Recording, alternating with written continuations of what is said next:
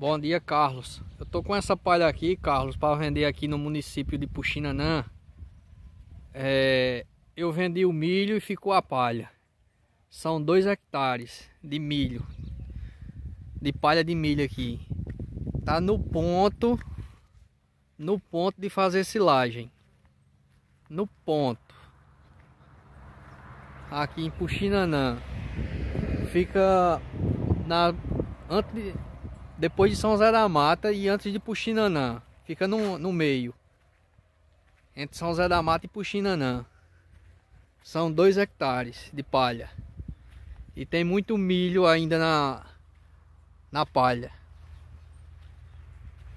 Quem se interessou, ligue, fale comigo no, no zap 98600 1497 são dois hectares de palha. Tem uma parte, tem uma parte que é menor. É aquela parte ali. É um pouco menor, mas é boa também.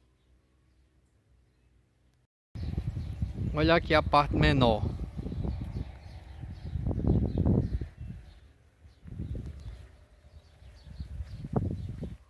Olha a outra aqui.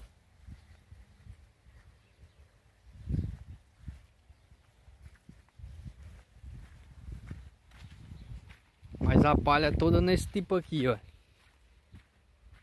É toda nesse tipo aqui.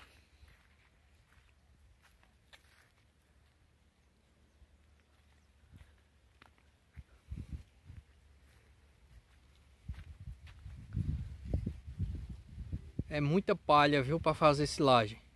Muita.